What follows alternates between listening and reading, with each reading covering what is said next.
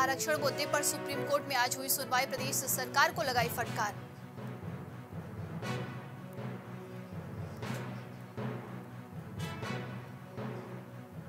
122 साल पुराने शिव मंदिर में तोड़फोड़, स्थानीय निवासियों, आगरा, मुरादाबाद हाईवे जाम कर किया प्रदर्शन। कनेलगंज, कोतवाली के एक गाँव में महिला के साथ सामूहिक दुष्कर्म, महिला आयोग की दल अंदाजी पर दर्ज हुआ केस। जिला आबकारी अधिकारी के निर्देश पर अवैध शराब की, की गई जब्त। मौके पर ढाई हज़ार लहन आबकारी विभाग ने किया नष्ट। अमरोहा के नेशनल हाईवे 9 पर कार से स्टंट करने वाले युवक की बड़ी मुश्किलें। वायरल वीडियो के आधार पर पुलिस ने की गिरफ्तारी के निर्देश जारी किए हैं।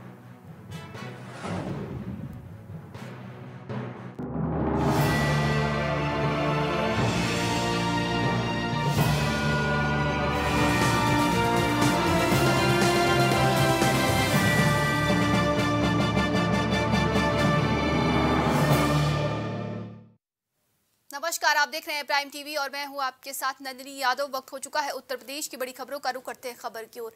खबर लखनऊ से है, जहाँ नगर निकाय चुनाव में आरक्षण के मुद्दे पर सुप्रीम कोर्ट में आज सुनवाई की गई। सुप्रीम कोर्ट ने हाई कोर्ट के दिए फैसले पर सुनवाई की और प्रदेश सरकार के निकाय चुनाव जल्द सम्पन्न कराने की मांग को खारिज किया। सुप्रीम कोर्ट ने सुनवाई के दौरान कहा कि जनवरी माह में चुनाव सम्पन्न नहीं कराए जाएँगे।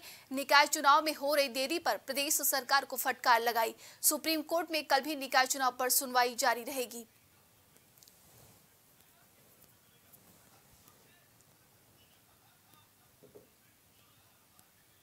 और इस खबर पर अधिक जानकारी के लिए हमारे साथ जुड़ेंगे सुहानी।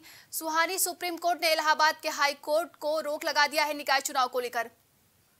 जी नंदनी, आपको बता दें कि हाई कोर्ट आज अपना फैसला सुनाने वाली थी और साथ ही उन्होंने कहा, इलाहाबाद जो हाई कोर्ट अपना फैसला सुनाया था, उस पर रोक लगा दी और कोर्ट ने कहा है कि सभी तथ्यों का संज्ञान में रखा जाएगा और उन्हें साफ़ तौर पे कहा है कि जो इलाहाबाद हाईकोर्ट ने कहा था कि इकतीस जनवरी तक चुनाव होगा, निकाय चुनाव, जो बिना ओबीसी आरक्षण के उसे पूरी तरह से नकार दिया है। साथ में उन्होंने ये भी कहा है कि जो योगी आदित्यनाथ के जो सरकार, हम जो आयोग कमीशन जो बनाए थे ओबीसी आरक्षण के लेकर जो आयोग बनाए थे, जो की छह मंथ का उसमें कार्यकाल था, उसको अब इकतीस मार्च तक रिपोर्ट सौंपनी होगी और इसके साथ ही एडमिनिस्ट्रेट कोई भी बड़ा फैसला नहीं लेगा, सुप्रीम कोर्ट का साफ़ तौर पे कहना है। और सुप्रीम कोर्ट ने ये भी कहा है कि जो जल्द चुनाव देने का जो आदेश आया था, उस पर रोक लगाया गया है और सुप्रीम कोर्ट ने नया नोटिफिकेशन जारी करने को भी कहा है और साथ ये भी कहा है कि तीन सप्ताह बाद फिर से इस पे सुनवाई होगी और जो कल भी सुनवाई इस पे जारी रहेगा जारी रहेगा। और साथ साथ ये भी कहा है कि जो कमीशन ने छह माह का जो कार्यकाल रखा था, उसको पूरे ओबीसी आरक्षण अपना पूरा रिपोर्ट कार्ड इकतीस मार्च तक सौंपेगा और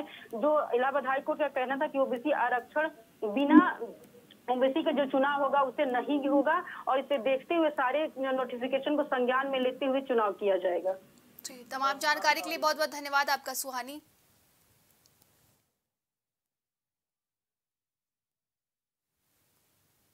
संभल के बहजोई कोतवाली में स्थित सादात बाड़ी मंदिर पर अराजक तत्वों ने 122 साल पुराने शिव मंदिर में तोड़फोड़ कर प्रतिमा को क्षतिग्रस्त कर दिया।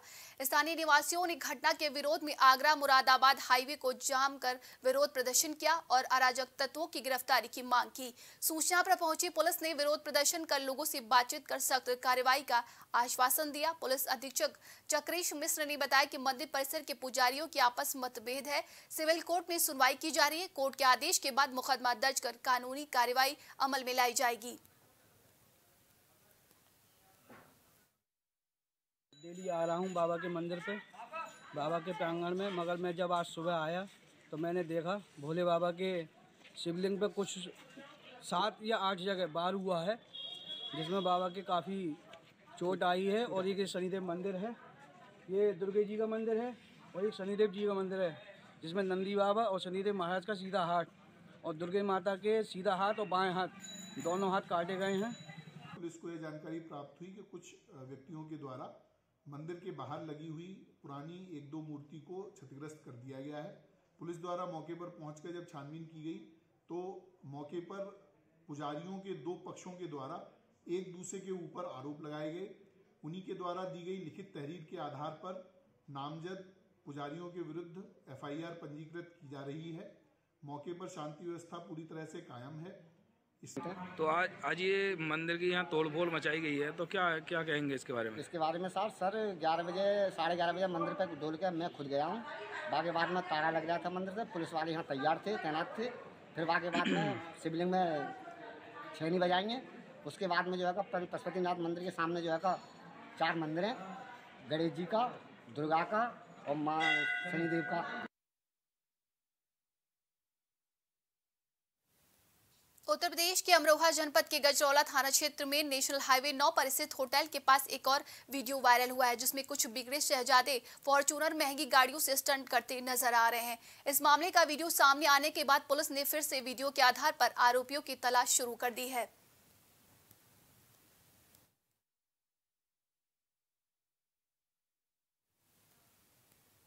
जिला आबकारी अधिकारी अनुराग मिश्रा के निर्देश पर आबकारी विभाग की टीम ने हसनपुर कोतवाली के गाँव अलीपुर खादर में छापेमारी करके करीब 320 लीटर अवैध कच्ची शराब बरामद की और ढाई हज़ार लीटर लहन नष्ट कर दिया। आठ लोगों के खिलाफ मुकदमा दर्ज कर वैधानिक कार्रवाई करने के निर्देश जारी हुए हैं।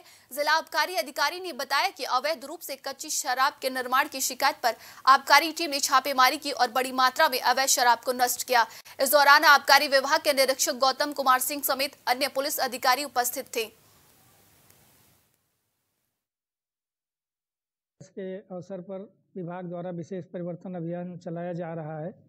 उसके क्रम में कल मुखबिर से सूचना प्राप्त हुई कि अलीपुर खादर गाँव में कई लोग अवैध शराब के निर्माण में लगे हुए हैं। उस सूचना पर मेरे द्वारा उस गाँव में अपनी टीम भेजकर छापा डाला गया। छापे के दौरान 320 लीटर कच्ची शराब बरामद हुई है तथा करीब ढाई हज़ार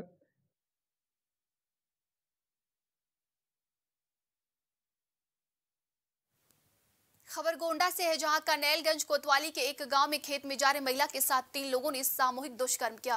पीड़ित महिला ने करनैलगंज कोतवाली में दुष्कर्म की शिकायत की, लेकिन पुलिस अधिकारियों ने दबंगों की रसू के चलते मुकदमा दर्ज नहीं कराया। महिला आयोग के दखलंदाजी पर चालीस दिन बाद पुलिस अधिकारियों ने आरोपियों के खिलाफ मुकदमा दर्ज कर गिरफ्तारी के निर्देश जारी किए।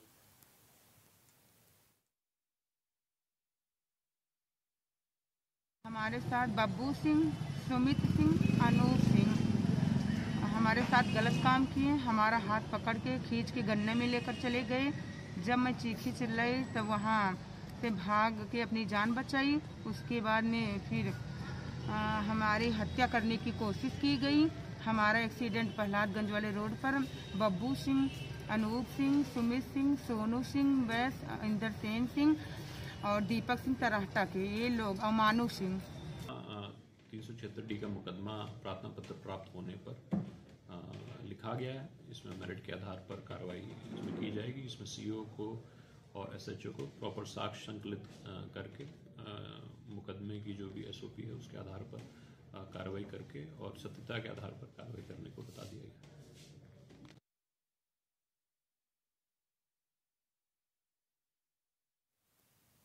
अभी के लिए उत्तर प्रदेश की खबरों में बस इतना ही। देश दुनिया की तमाम खबरों के लिए देखते रहिए प्राइम टीवी।